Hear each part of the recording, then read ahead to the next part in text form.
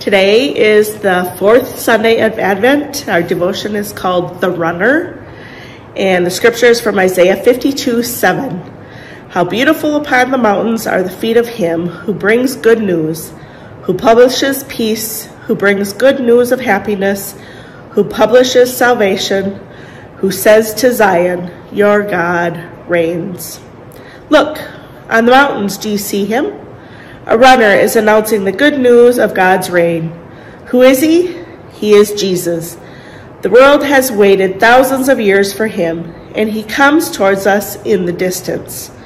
Our Savior first makes his run known when he is 12 years old. Did you not know that I must be about my Father's business? Luke 2 49. Thirteen more times in Luke's Gospel, the verb must marks Christ's fierce determination to complete his course.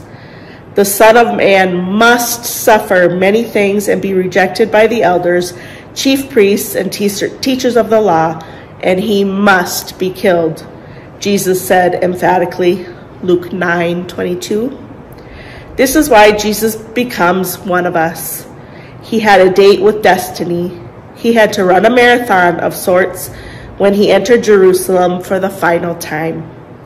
Split lipped and blood soaked, on that Friday, he carried his cross to Golgotha.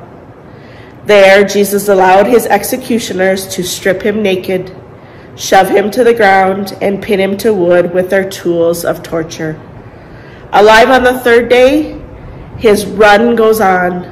Jesus runs toward us to encourage us with his forgiveness and love, saying, your God reigns.